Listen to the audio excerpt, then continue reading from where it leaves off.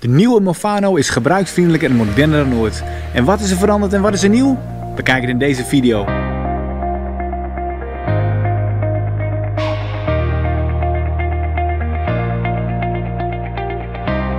Hallo, mijn naam is Hendrik Lewis en leuk dat je kijkt naar ons YouTube kanaal. Op dit YouTube kanaal verschijnt wekelijks een nieuwe video met uitleg van een open model zoals deze of met uitleg van een open systeem. Nou ben je nieuw, bekijk je ons kanaal voor het eerst. Ik zou zeggen druk op een op en mis geen enkele video. Nou zoals ik al zei is dus de nieuwe Open Movano vernieuwd. Nou wat er vernieuwd is dat zie je dus in deze video. Wat het eerste opvalt is een nieuwe voorkant. En die ziet er zelf zo uit. Nou, hier zien we dus die vernieuwde voorkant. Wat heel mooi opvalt is dus je ledverlichting die eigenlijk uh, doorgaat tot aan de grill. Het, een gigantische mooie Opel logo. Wat dus het grootste logo is van alle Opel modellen bij elkaar. En uiteraard aan deze kant loopt hij ook weer heel mooi. Het geeft hem dus een hele mooie luxe uitstraling. Nou, als we verder gaan kijken, dan is hij ook uh, leverbaar in vier verschillende lengtes en drie verschillende hoogtes. Lengte 1, lengte 2 en lengte 3 en lengte 4. En hij is dus in hoogte 1, hoogte 2 en hoogte 3 leverbaar. En je kunt hem natuurlijk geheel naar eigen wens samenstellen. En dat is natuurlijk het mooie van deze auto ook. Is dat voor elke ondernemer is natuurlijk wel iets passend. Het model die we hier zien is de lengte 2 en hoogte 2. En deze wordt standaard wordt die zo geleverd met deze platen hier onderaan. Natuurlijk zijn er ook alle andere mogelijkheden uh, tot lat om lat of het helemaal dicht. Qua vloeren, inrichtingen, noem het allemaal maar op. Ook het interieur is vernieuwd en dat zijn eigenlijk ook een grote kenmerken. Wat opvalt is dat hij een heel mooi, uh, strak overzichtelijk uh, dashboard heeft. Met hele handige punten. En die laat ik nu zien. Nou, hier zien we bijvoorbeeld de dooihoekwaarschuwing. Wat de mogelijkheid is. Nou, als we verder gaan kijken, dan uh, zien we hier het, uh, het, dashboard.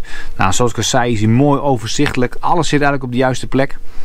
En hij is mooi luxe, uh, luxe afgewerkt. En dan zien we onder andere deze mooie chrome ringen die bij de luchtrooster zitten. Ook de display is mooi helder en mooi duidelijk. En navigatiesysteem, want hier is een navigatiesysteem bij, bij besteld. Die werkt natuurlijk ook naar behoren. Er is ook een mogelijkheid tot Apple CarPlay en Android Auto. Daaronder zitten nog wel een aantal veiligheidssystemen. Althans die je aan of uit kunt zetten. Nieuw is natuurlijk ook dat hij voorzien is van een lane departure warning.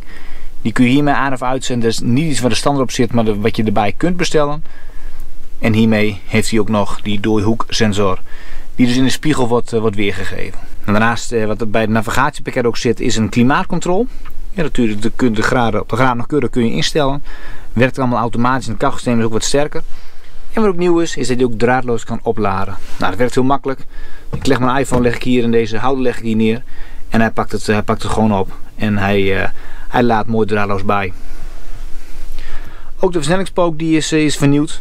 Geeft ook een mooie luxe uitstraling. Nou, wat Opel natuurlijk bekendbaar is dat voor de achteruit eerst deze even omhoog moeten doen. Hij is ook leefbaar met automaat. Dus de motoren zijn 135 pk, 150 pk en 180 pk.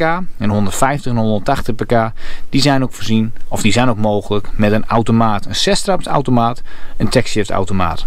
Nou, voor de rest hier het stuurwiel, de cruise control die we hiermee kunnen, kunnen instellen. Bediening van het stuurwiel, die zit hierachter, zodat je heel makkelijk je handen aan het stuurblad houden. Hier met de achterkant zo harder of zachter kunt doen.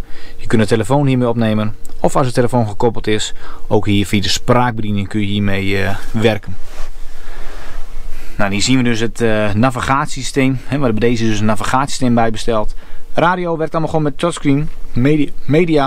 Dan kun je dus andere mediaapparatuur kun je daarmee uh, mee aansluiten. En ook de telefoon kun je natuurlijk met de bluetooth kun je aansluiten. Of inderdaad via de USB kabel. En daarnaast heb je nog de kaart. Dus dan geven ze over navigatie. Nou, en qua navigatie werkt het natuurlijk heel makkelijk. Je drukt op navigatie, op adres. En hier kan ik eigenlijk alles al intypen uh, waar ik naartoe wil. Op oké. en hij brengt ons daar naartoe. En daarnaast kunnen we nog via de instellingen, allemaal nog de instellingen kwijt. En dat is natuurlijk heel persoonlijk, maar dan kun je al dus eh, de volken qua audio, qua display, qua connectiviteit en qua systeem. Alles kun je hiermee aanpassen naar eigen wens. Nou, ik hoop je hiermee alvast leuk in het geven van deze vernieuwde Opel Movano. Nou, wil je een model te echt zien of wil een proef maken, natuurlijk van harte welkom aan de Natuurbe Noord hier 133 in Rode. Waar we uiteraard natuurlijk de nieuwe Movano hebben, hebben staan. Nou, zijn er vragen, tips hier onderin. Super bedankt voor het kijken. Mijn naam is Henrik Liewers en volgende week verschijnt er weer een nieuwe video. Tot dan!